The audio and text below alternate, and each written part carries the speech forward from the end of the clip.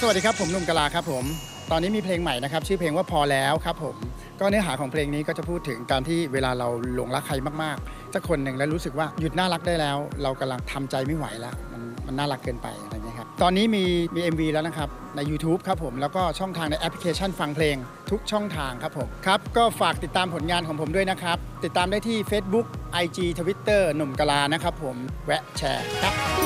บ